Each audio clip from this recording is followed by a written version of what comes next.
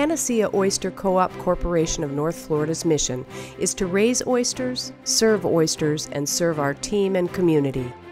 Our ranchers are trained aquaculturists who know oysters and their needs.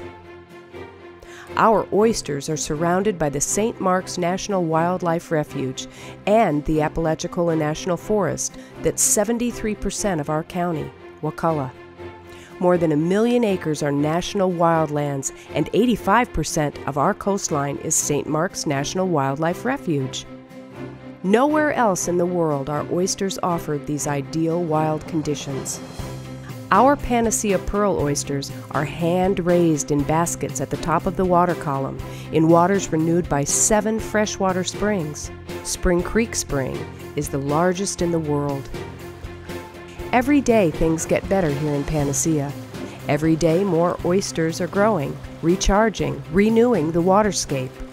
Panacea's definition is a solution or remedy for all difficulties and diseases, our oysters agree, and so do we. Spring fed, salt kissed. And for us, happiness is giving, not taking, it's giving back. The oysters we place in the ecosystem are producing trillions of juvenile young oysters each year. These oysters are reseeding our entire waterscape.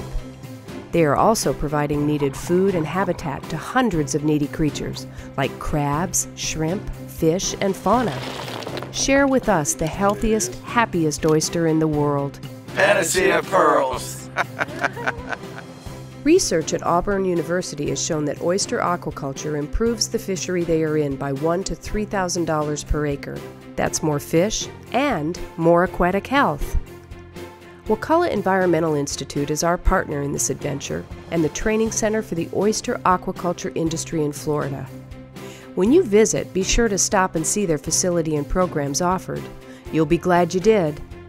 Other partners include Florida A&M University, Florida State University, University of Florida, Louisiana State University, and Auburn University.